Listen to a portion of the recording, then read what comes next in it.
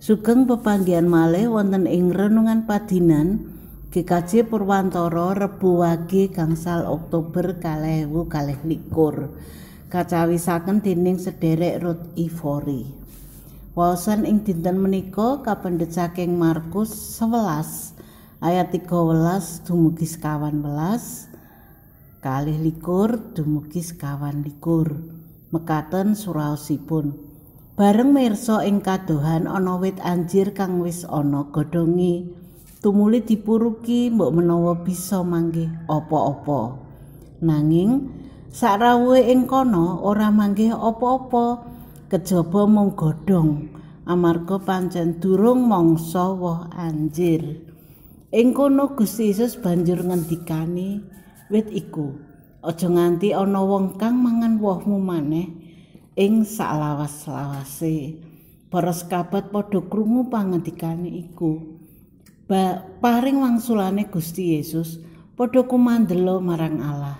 Aku pitutur marang kowe sak temene sing sapa celatu marang gunung iki mumbulo lan nyegoro nyegoro ing segara uger sakjroning batin ora mangu-mangu nanging percaya yen apa kang diucapake iku mesti kelakon mesti iya bakal kelakon.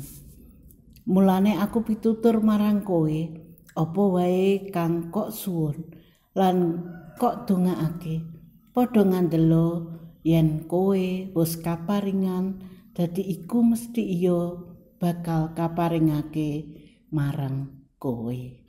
Rayu tiang ingkang mirengaken sabda pangandikanipun Gusti lan ngestoaken wonten ing gesang padincenanipun. Haleluya. Amin. Renungan ing wajib menika kaparingan jejer kumandel dumateng Allah. Nalika maos Markus 11 ayat 12 dumugi sekawan welas kita kedah ngati-ati awet saged mastani Gusti Yesus ngendikan boten sae kok saged Gusti Yesus mucal bab ingkang awon? Awet Gusti Yesus nyupau siwet anjir malah keporo kados-kados Gusti Yesus mejahi wit menika kanthi ngedalaken ipat-ipat ingkang dadosaken wit anjir menika garing. Kedahipun gesangaken tetuhan. Ananging nalika kita mangertos kahananipun Gusti Yesus tentu bakal nglengganani kenging menapa Gusti Yesus nindakaken perkawis menika. Panjenenganipun dipun ajengaken kalian tiang-tiang ingkang boten pitados dumateng panguasipun Gusti Yesus. Tiang-tiang ingkang namung ngasoraken Gusti Yesus malah keporo dipun aben ajengaken kalian tiang-tiang wangkot ingkang boten saged dipun ngendikani. Menika ingkang dadosaken Gusti Yesus rumaos getun. Kula mbayangaken Gusti Yesus ugi duka. Wit anjir menika nggambaraken bangsa Israel ingkang wangkot lan boten saged pitados dumateng Gusti Yesus. Kagambaraken boten saged ngetelaken woh. tondo menawi wit anjir saged ngedalaken woh ketingal saking wit ingkang tuwuh ageng lan ngrembuyung. Saged kaagem ngiyup. Mekaten ugi wohipun sanadyan ketutup godhong ingkang ngrembuyung ananging ketingal wonten wohipun. Mekaten ugi nalika dipun dahar woh anjir karaos legi lan sae.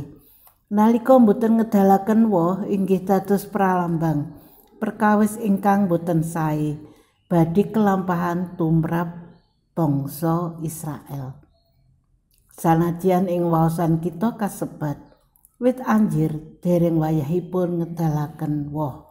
Markus 11 ayat 13. Ananging sampun kapirsanan dening Gusti Yesus menawi wit menika mboten saged awoh.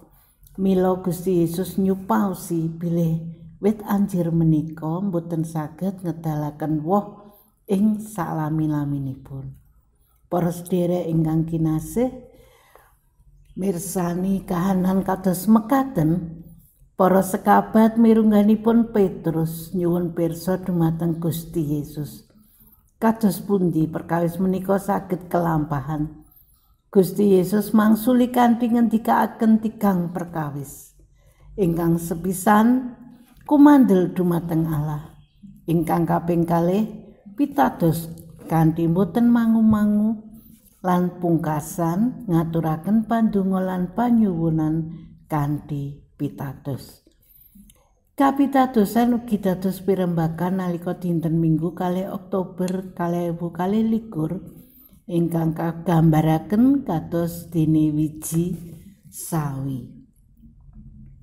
Para sedherek ingkang kinasih, sumangga ing gesang kita kagungan kapitadosan ingkang saestu dumateng Gusti Allah.